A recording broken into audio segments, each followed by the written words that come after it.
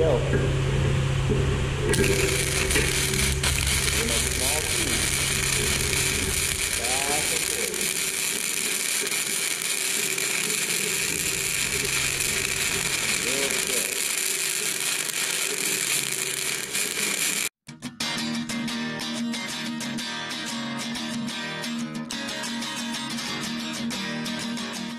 Welcome back. We got our metal. We do need to take some other metal though. I gotta take that to Jason. I don't need it and it's just gonna go to waste sitting around here. I'm not gonna hold on to it for a random storm that might put a hole in one of the panels on our shop or on our uh, or on our shop or on our barns. It's just more likely for me to damage it and ruin it letting it sit around. So we're gonna move that onto the trailer after we take the metal off the trailer and set over here next to the garage. That metal is going to be used for a couple of things. The first thing is we're gonna make two hay cradles that hold three round bales each. And then it'll have a wire mesh, uh, or not even wire mesh, it'll have a cattle, cattle panel or a uh, goat panel, hog panel underneath of it to keep some of the hay from falling through. We're gonna get all that done and then we're gonna make some gates for our barn instead of using our wooden ones. Our, our wooden ones worked great last year, but we want to make some improvements to it and make it to where they're uh, easier to open, the pins don't get lodged, stuff like that. So improvements, little improvements every year. Let me get the skid steer out. No, we still haven't fixed it. However, some upsides, that tall box right there you see, that is the radiator for it. So we're going to go ahead and fire it up, move the stuff that we need to real quick. I already topped it off with coolant. It's gonna leak it out, or it's gonna leak out a good bit of it. And uh, I just need to get this stuff done for now. I can't, as you can see, I'm still on crutches, so I can't climb on equipment and climb on equipment, I just can't lift things. It's really hard. So right now I'm at the mercy of either when my son, who you see back here vacuuming my truck for me, pretty cool of him, um, between him or my daughter and then obviously my wife. That's the most useful, uh, or the most, it's the simplest way for me to do it. I'm stuttered and rambling. I'm not trying, I'm not sure what I'm to say. Gage is also gonna be a nice guy and vacuum out the Camaro for me. And then we'll put it back in the corner where it belongs. We've almost got the tuning done on it. Once I get all that stuff buttoned up and actually fully functional, the videos that we've made for the whole build, we end up, we will publish them. It's just gonna be a little bit of time before we edit them. Uh, but for right now, we got a lot of stuff to get done. I'm talking, takes me twice as long now with three legs. So, but uh, let's get going.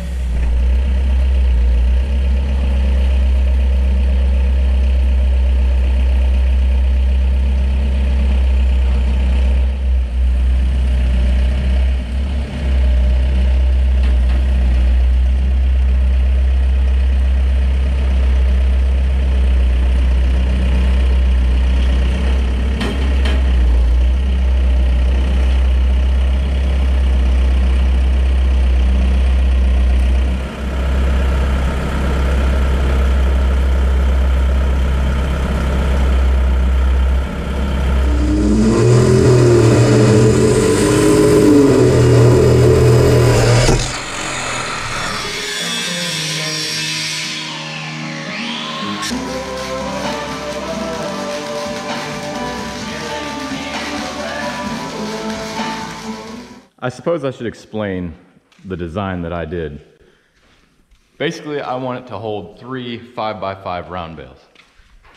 Now, this is the bottom of it. This is the, the skid and the legs. So I made all the legs 18 inches. The skid itself is just the two by two uh, square tubing with eighth inch wall. And then these 45s you see on the end are for if we were to push it, we're not just shoving yeah, I know, I burned a hole in it. I'll fix it. But if I didn't have this on here, whenever I'd push it against or across the ground in the uh, barn, it would shove a bunch of sawdust in there. I don't want that. So that's why those are in there, and we'll put caps on the end of those 45s. The next thing that we're gonna do is essentially take two more 15 foot sticks of the two by two tubing, and we'll put on here, and it'll run down there, and then we'll do the same thing right here.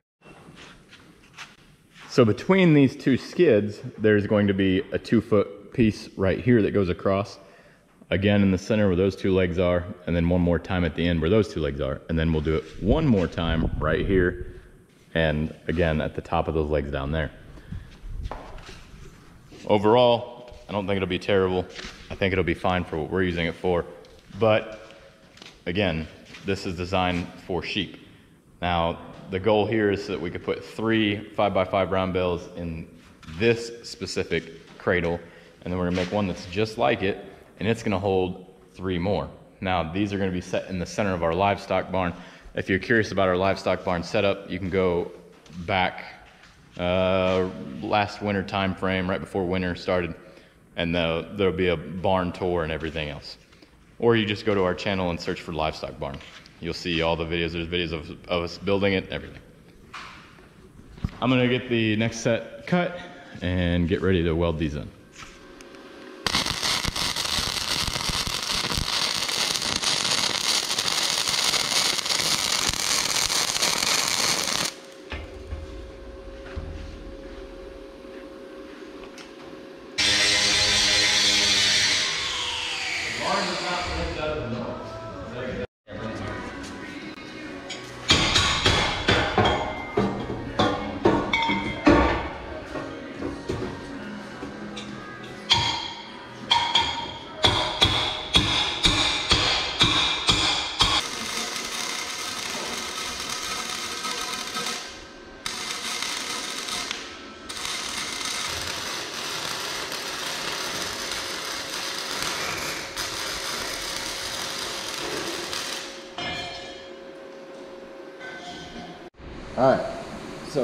So what we want to do, I'm going to show you without we're not going to touch the trigger or anything. Okay.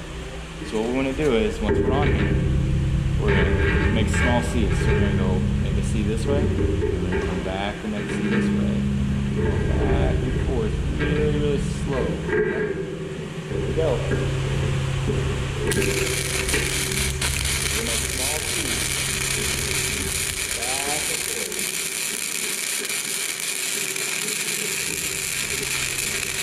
Real slow.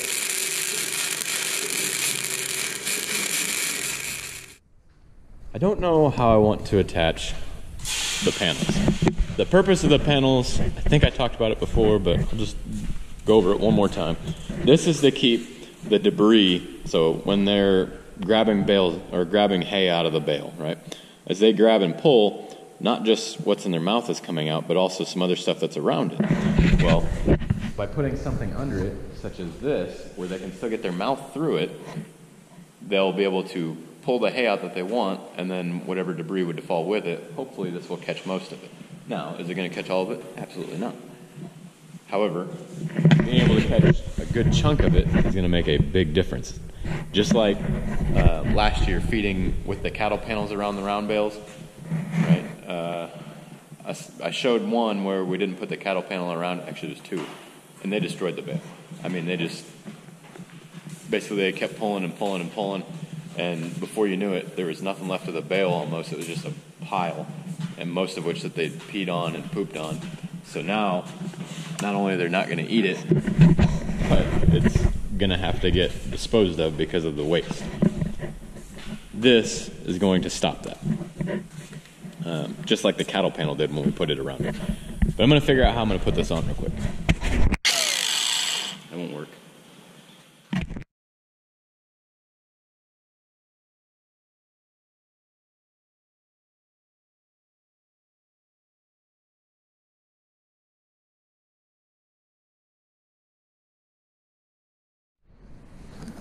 It's all done.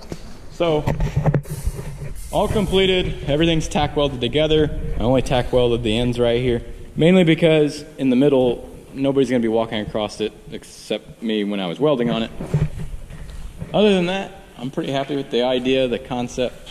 I uh, I think it'll be effective for these guys. And uh, we're actually gonna go. Well, I have an appointment, so we can't do it right now. Uh, I gotta do physical therapy. We're gonna take this, we'll put it in the barn, and we'll throw three square or three round bales on it. Again, it's designed to hold three five foot wide, five foot tall round bales. Obviously, it could, as long as they're smaller than that, it would hold them without an issue. And it can actually hold a little bit larger. So, like if I make a whoops, I didn't make it exactly five feet between this and this. And the reason being is because sometimes if I've got just a little bit to go on a bale or on a field, I won't kick a bale out. I'll make it a little bigger. So instead of being a 60 inch bale, which is five feet, it might be 65 or 68 inches.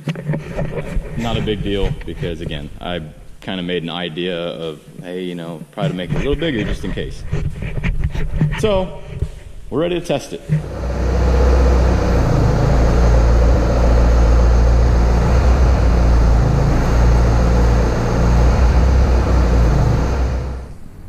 Craziest thing ever. We all know, anybody that's worked with tools of any sort that plug in, everybody knows that if that was plugged in and I was just trying to scoot it over a little bit by hand or, you know, pulling on the cord, that dang thing would have unplugged instantly. By some miracle, once you climb up in the skid steer and you're moving something big around, it just hangs on for dear life. Unbelievable.